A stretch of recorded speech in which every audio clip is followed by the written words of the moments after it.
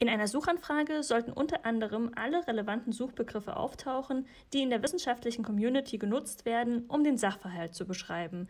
Wir sollten uns zur besseren Übersicht deshalb eine Tabelle mit allen Synonymen, Oberbegriffen, Unterbegriffen und verwandten Begriffen anlegen. Jeden einzelnen Begriff schreiben wir in ein Tabellenfeld innerhalb der gleichen Spalte. Die unterschiedlichen Aspekte einer Frage sammeln wir in den einzelnen Spalten. So haben wir einen guten Überblick. Innerhalb einer Spalte werden alle Begriffe für die Suchanfrage mit dem Boolschen Operator OR verknüpft, da uns egal ist, welcher Begriff im Treffer auftaucht, aber es sollte mindestens einer sein. Ein Thema wird dann in eine runde Klammer geschrieben.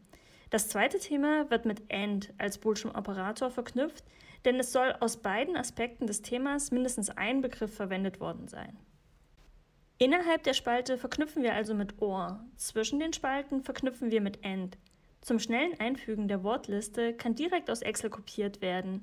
Wenn in jeder zweiten Zeile bereits ein Ohr steht, umso besser, denn dann muss es nicht zusätzlich in der Datenbank eingefügt werden. Diese Suche kann nun einfach per Copy and Paste in unterschiedliche Datenbanken übertragen werden.